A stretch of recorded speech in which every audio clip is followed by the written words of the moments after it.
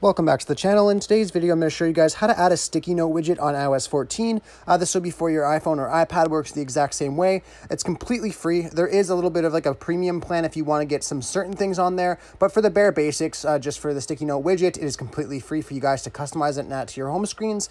Otherwise, uh, the only way to get the application is through the App Store, so you just want to go over to the App Store, on your iPhones or iPads and just search for sticky widgets. It's just this first application right here. You just want to go ahead and download that application. Once you have the application downloaded, you actually don't need to open it up. All you have to do is long press on any application on your screen, click on edit home screen, and then click on the plus button at the very top. And then you just want to scroll down until you find the sticky widgets application.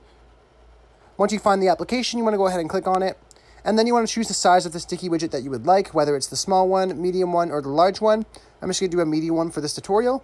So just going to click on add widget.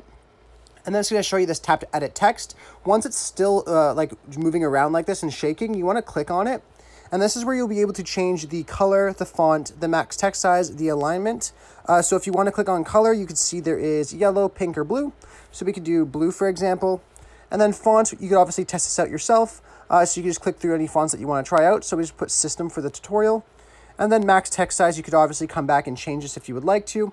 Uh, but once you have all these settings chosen, you can exit out of here and just click on done.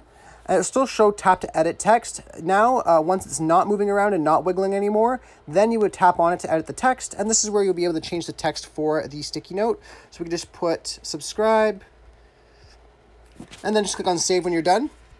Uh, now, if you want to go back and change the text or change the color, you just want to long press on it again, and then you can click on Edit Widget, and this is where you can access these settings to play with the font size after you have your font like put in. And then, you, of course, you could change the font around if you don't like that one, and you could try out different mixtures. But yeah, very, very easy to do. And then obviously you can move this around and change where it is, of course, like any other widget. Very, very easy to do and set up. I really hope I was able to help you guys out with showing you guys how to add sticky note widgets on iOS 14.